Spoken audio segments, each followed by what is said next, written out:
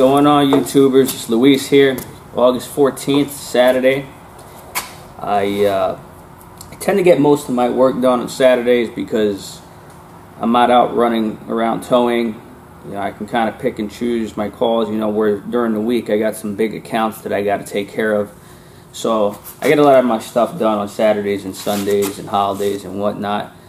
So I'm hoping today to have a productive day.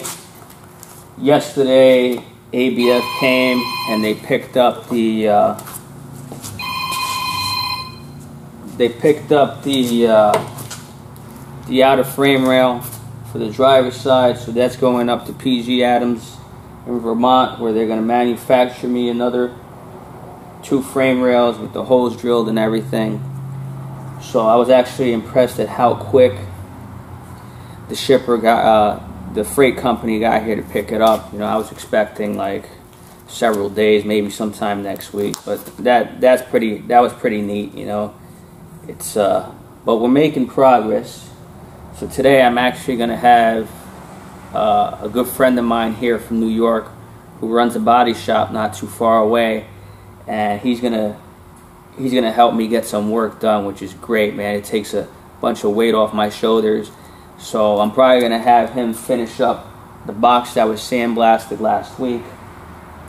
So we're gonna probably prime that today, and you know, there's a couple panels too, you know, a couple little patch panels that we're gonna have to do from when the guy sandblasted it. Uh, we ended up finding some more holes, not a big deal. So while he's doing that, I'm gonna jump onto some other things. I might actually start pulling the passenger side frame rail out.